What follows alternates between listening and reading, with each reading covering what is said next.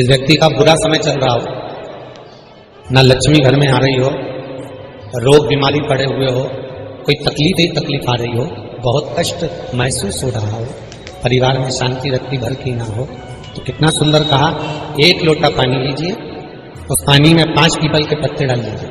कितने पत्ते? पाँच। थोड़ी सी काली तिल्ली डाल लीजिए। थोड़ा सा हल्दी का गट्टा, हल्दी जो सूखी एक गट्टे में आती है हल्दी की गांठ, उसका थोड़ा सा टुकड़ा उस कलश में डाल लीजिए। और जिस व्यक्ति का समय गड़बड़ चल रहा हो, लक्ष्मी नहीं आ रही हो, बीमारियाँ बनी हुई हो, दुख हो, तकलीफ़ हो, कष्ट हो, बस वो पानी को लेकर जाओ, जिस व्यक्ति को ज़्यादा कष्ट है। और पानी ले जाकर शंकर जी के ऊपर वो चढ़ा दीजिए।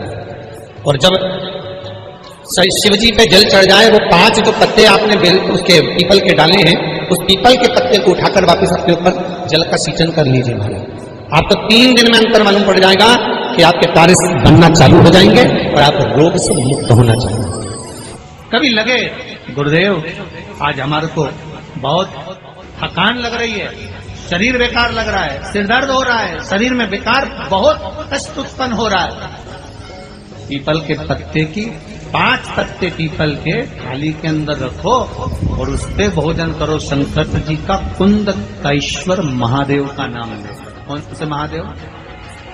एक बार जम के बोलिए, कुंद कैश्वर। कुंद कैश्वर महादेव का नाम लेकर भोजन करना प्रारंभ करो। 15 से 20 मिनट लगते हैं, हमारे टेबलेट खाने की ज़रूरत नहीं पड़ती, सिर दर्द मन शरीर कितना भी दुख रहा हो, उसमें आराम लगना प्रारंभ हो जाए। कुंद कैश्वर महादेव का नाम सुख की अनुभूति करा। शरीर के रोग को मिटाने का श्री शिवाय नमस्तुभ्यम हर हर महादेव। दोस्तों, कार्तिक मास की अष्टमी तिथि का दिन आ गया है। यह दिन बहुत ही खास होने वाला है, क्योंकि पहले तो कार्तिक मास का अति प्रिय महीना चल रहा है और यह अष्टमी कोई साधारण अष्टमी नहीं है। यह अष्टमी अहुई अष्टमी का दिन है।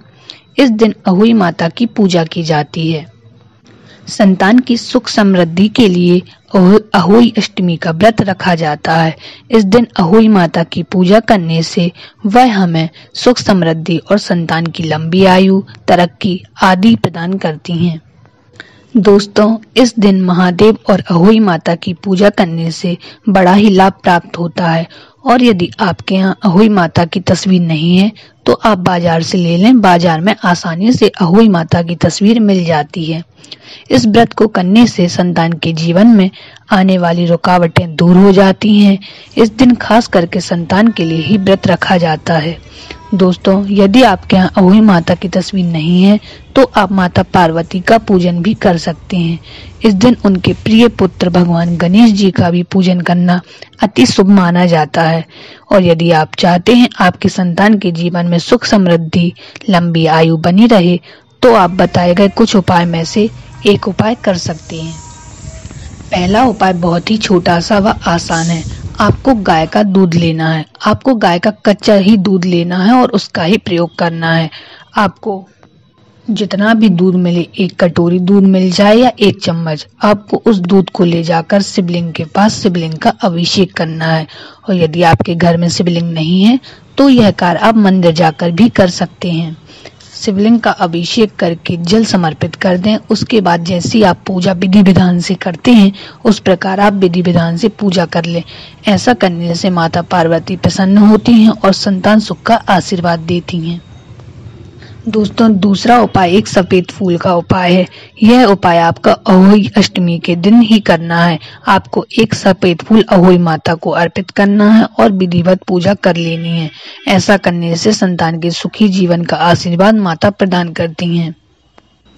आगे वीडियो में गुरुजी द्वारा पीपल के पत्तों का भी उपाय बताया गया है, जो आप इस दिन कर सकते हैं।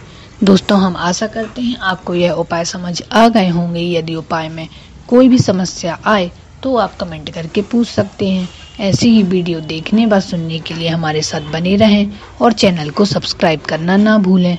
ये वीडियो पसंद आई हो तो वीडियो को लाइक, कमेंट और शेयर करें।